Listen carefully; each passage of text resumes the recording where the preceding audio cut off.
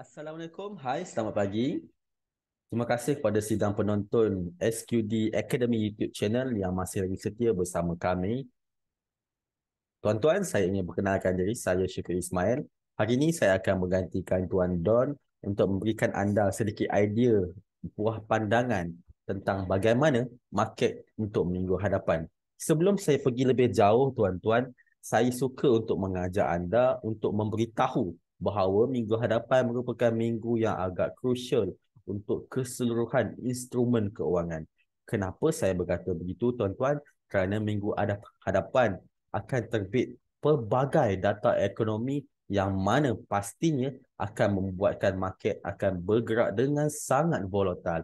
Tak kira currency ataupun komoditi juga cryptocurrency tuan-tuan. Jadi pada hari ini sebelum saya pergi lebih jauh saya ingin mengajak anda untuk melihat pada hari Selasa kita ada German CPI dan juga pada hari Rabu kita ada ADP seperti biasa di permulaan uh, permulaan bulan.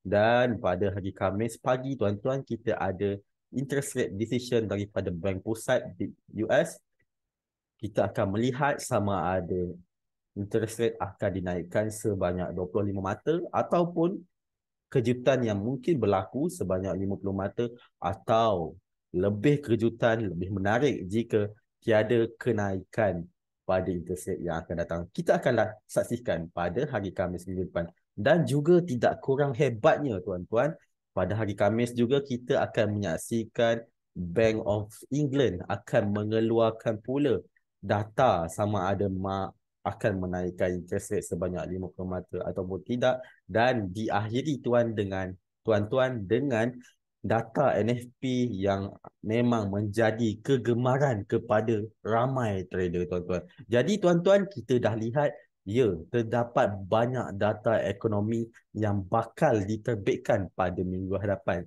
Jadi sama-sama kita nantikan apa reaksi pasaran terhadap data-data ekonomi yang akan keluar pada minggu hadapan ayuh saya tunjukkan kepada anda bagaimana menurut pandangan saya akan terjadi pada minggu hadapan. Sebelum saya pergi lebih jauh kepada currency-currency ataupun instrumen komoditi yang lain, saya suka untuk mengajak tuan-tuan untuk melihat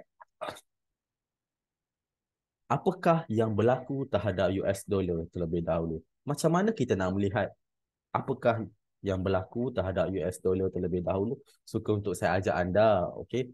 Kebiasaannya seorang trader yang agak berpengalaman akan cuba untuk melihat US dollar currency index ataupun DXY di platform TradingView untuk melihat secara teknikal apa yang boleh diperkatakan dan apa yang boleh dilihat untuk minggu hadapan.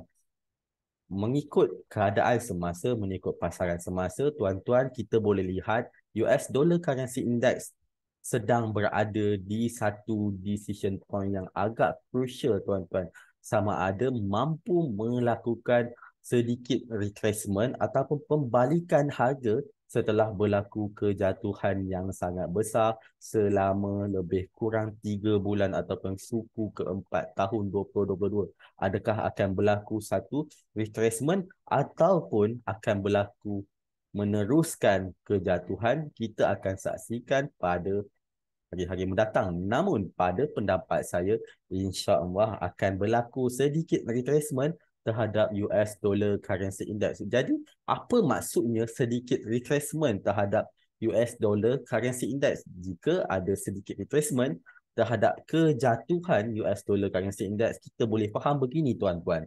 Kita boleh melihat dalam masa akan datang insyaAllah US dollar akan kembali menguat dan akan membuatkan mata wang-mata wang yang berkaitan dengan US dollar akan terkesan dan akan melakukan pergerakan yang agak volatile. Okey, seterusnya kita langsung terus ke komoditi kegilaan ramai player-player, trader-trader di Malaysia tuan-tuan.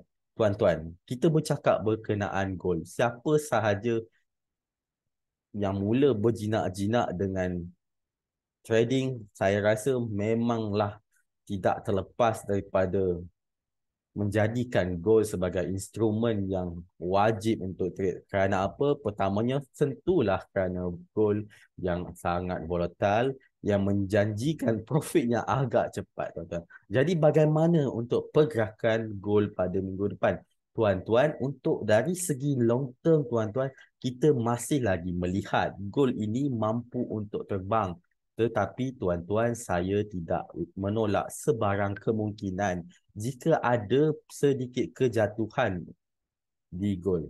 Jadi di mana peluang untuk di mana peluang atau potensi yang kita boleh lihat saya merasakan mungkin gold mampu untuk melakukan kejatuhan sekali lagi ke paras harga 1915 hingga 1912 dan jika tuan-tuan mahu mencari peluang sell saya rasa di zona harga 1940 hingga 1943 adalah zona yang menarik untuk anda lihat potensi peluang sell.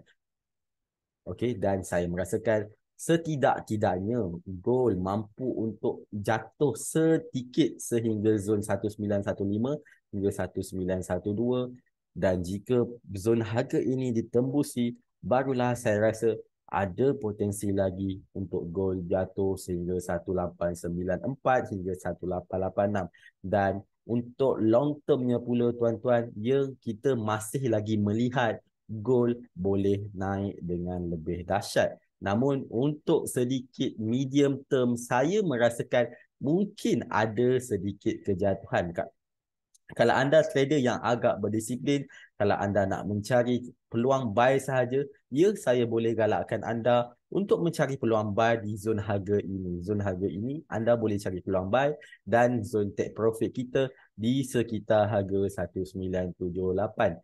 Okey, anda boleh cari peluang buy di sini ataupun di zon harga ini dan take profit kita di 1978 insya-Allah. Dan jika anda merasakan ya saya ingin cuba untuk uh, untuk melawan trend ataupun untuk saya rasa macam dah nak habis dah goal ini. Okey, boleh. Anda juga boleh berpandang, berpandangan begitu. Anda boleh mencari peluang sell di 1940 ataupun 1943. Jadi, apa pilihan anda? Adakah anda ingin sell terlebih dahulu ataupun anda hanya konsisten mencari peluang buy? Kalau anda nak cari peluang buy, saya rasakan zon harga ini adalah zon harga yang menarik untuk anda cari peluang buy dan kalau anda ingin mencari peluang sell ya 1940 1943 adalah zon yang molek indah lagi bergaya untuk anda cari peluang sell. Tetapi tuan-tuan saya ingin peringatkan kepada anda kalau anda mencari peluang sell anda haruslah berhati-hati kerana secara amnya long term trend masih lagi gold melihat akan terus menaik ataupun terus ke bulan. Jadi anda perlulah menggunakan lot sizing yang agak rasional untuk cuba untuk melawan trend itu. Jadi saya rasa selesai untuk gold. Ya, ada peluang untuk buy, ada peluang untuk sell. Terpulang kepada anda mahu bagaimana. Jadi saya dah bagi kepada anda sedikit buah idea berkenaan apa yang mampu berlaku pada minggu depan. Seterusnya kita beralih kepada satu lagi komoditi yang saya rasakan satu mempunyai satu peluang yang sangat menarik. Tuan-tuan, US oil ataupun crude oil.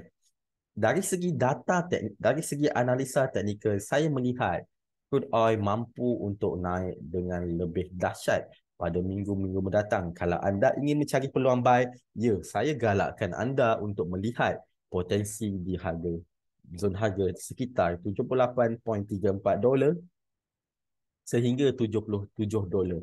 Di sini anda boleh cari peluang buy dan anda boleh take profit jika anda seorang swing swinger ataupun seorang pedagang yang berdagang dengan keadaan mas jangka masa yang lama anda boleh take profit di sekitar 88.93 sehingga 91.83. Ini untuk crude oil. Okey, seterusnya tuan-tuan, saya akan terus anda mengajak anda untuk melihat kepada currency pair yang menjadi kegilaan ramai juga untuk kebanyakan trader Malaysia iaitu Euro USD ataupun EU. Tuan-tuan, apa yang kita boleh lihat untuk EU? Secara peribadi, saya merasakan EU masih ada potensi untuk melakukan kenaikan. Walaupun sedikit, dia masih ada potensi untuk melakukan kenaikan. Jadi kalau saya nak mencari peluang untuk buy, kerana apa? Kerana saya nampak EU ada potensi untuk naik, saya akan cuba mencari peluang buy di zon harga 1.08330 hingga zon harga 1.08230 dan jika zon harga ini ditembusi saya akan mencari peluang buy peluang buy sekali lagi di 1.07737 hingga 1.0748 dan saya akan take profit di zon harga ini yang saya rasa agak besar ya zon harga ini di sekitar 1.09663 hingga 1.1153. Anda boleh lihat peluangnya dan anda boleh lihat dan anda boleh ambil tindakan sama ada anda nak masuk posisi ataupun tidak. Ini untuk Euro USD. Tuan-tuan, seterusnya saya akan beralih kepada mata wang pound sterling US dollar, GBP USD. Seperti mana Euro USD, GBP USD juga kelihatan berpotensi untuk naik lagi tuan-tuan. Belum lagi sampai ke decision point yang saya rasa mungkin ada berlaku reversal. GBP USD kemungkinan mampu untuk naik lagi setidak-tidaknya ke paras maksimum di 1.2574 dan di paras minimum di 1.2457 sekitar 100 pip sekitar 150 180 pip hingga 50 pip lagi. Jadi untuk minggu depan, ya anda boleh cari lagi peluang buy untuk GBP USD dan TPT zone ini. Namun tuan-tuan, agak anda kena agak berhati-hati seperti mana yang saya katakan tadi minggu hadapan terdapat pelbagai data ekonomi yang akan keluar dengan GBP-nya akan ada data interest rate decision daripada Bank of England. Jadi kita lihat apa yang akan berlaku. Jika jika tuan-tuan jika news itu berlangsung sebelum news itu berlangsung harga GBP USD telah pun sampai di dalam zon ini saya mungkin akan melihat peluang untuk kembali sell GU. Okey. Jika saya ulang sekali lagi kalau GBP USD berada di dalam zon yang telah saya tandakan ini sebelum news interest rate decision berlangsung saya mungkin akan mencari peluang sell. Okey saya akan saya mungkin akan cari peluang sell. Namun untuk long untuk long termnya masih GU ada potensi untuk melakukan kenaikan ke dalam zon sebelum saya rasakan akan ada rejection yang kuat di GU Okey, selesai untuk GU. Kita teruskan dengan satu lagi pair yang saya rasa menjadi kontroversi pada tahun lepas. Kerana apa menjadi kontroversi tahun lepas tuan-tuan? Kerana pada tahun lepas berlaku kenaikan yang masif yang saya rasa telah membuatkan banyak trader, banyak robot ataupun banyak expert advisor yang telah uh, yang telah margin call akibat daripada akibat daripada market yang menaik dengan sangat agresif. Okey, untuk UJ dalam dari segi teknikalnya long term, ya, UJ masih lagi ada saki baki penurunan tuan-tuan. Dari segi long term, kita tidak dapat nafikan UJ masih lagi ada saki baki penurunan sehingga 124.59 hingga 120.42. Itu dari segi long term. Okey, dari segi long term. Namun demikian tuan-tuan, kita dah ada mindset untuk tahu UJ boleh jatuh. Jadi kita akan mencari peluang sell sahaja. Jadi di mana yang kita boleh melihat peluang sell yang baik untuk kita memasuki pasaran. Saya boleh suggestkan kepada anda melihat potensi zon harga 132.73 hingga 131.56. Kenapa saya melihat ini satu zon yang baik untuk UJ kembali melakukan kejatuhan. Jadi kalau anda nak cari peluang sell, inilah zon yang anda boleh berkira-kira untuk memasuki pasaran untuk UJ. Selesai untuk UJ dan seterusnya tuan-tuan pair yang kedua terakhir juga pair yang menjadi kegilaan ramai trader-trader di Malaysia iaitu GBP JPY. Okey, untuk GBP JPY tuan-tuan seperti mana UJ, GBP JPY-nya ini dari segi long term, long term, ya, kita masih lagi melihat GJ mampu untuk jatuh ke zon harga 154 0.94 sehingga 153.30. Namun demikian tuan-tuan, kalau anda nak cari peluang sell, saya rasa anda belum boleh lagi mencari peluang sell. Kerana apa? Bagi saya ada sedikit lagi sakit baki DJ akan naik di zon harga 162.455 hingga 163.53 dan barulah saya rasakan DJ boleh untuk jatuh sehingga 154.94. Jadi apa strategi yang kita boleh gunakan? Ya, kalau saya, saya mungkin akan mencari peluang buy sekali lagi.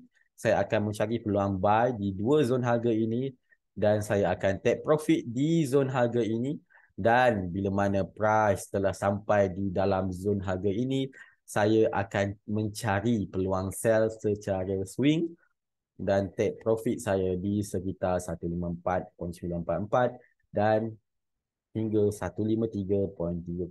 Jelas. Untuk medium term, kita nampak GJ ia akan naik lagi. Tetapi untuk long term, ia GJ mampu untuk untuk jatuh turun sehingga 154.94.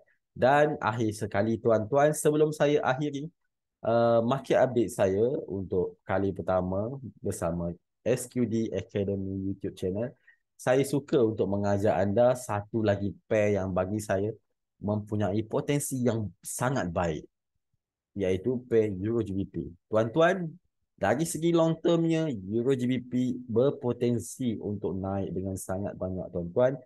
Berpotensi untuk naik sehingga 400 pip. Jadi saya masih lagi konsisten EG sebelum dia naik mampu untuk turun sehingga 86.84. Jadi kalau saya nak beli, kalau tuan-tuan nak beli EG, tuan-tuan nak pasuk, tuan-tuan nak long Euro GBP, saya galakkan, saya boleh nasihat dan saya boleh galakkan anda untuk cuba membeli di dalam harga zon harga 8684 sehingga 8651. InsyaAllah potensinya saya rasa mungkin sekitar 340 pip hingga 400 pip. Jadi saya rasa itu saja untuk hari ini. InsyaAllah saya akan perbaiki skill penyampaian dan juga perbanyakkan pair-pair yang saya akan kongsikan anda pada masa akan datang. Itu saja untuk saya. Sebelum saya akhiri, saya ucapkan semoga anda semua berada dalam keadaan yang baik. Moga dimurahkan rezeki, moga dipermudahkan urusan, InsyaAllah, majulah trader untuk Malaysia. Assalamualaikum warahmatullahi wabarakatuh.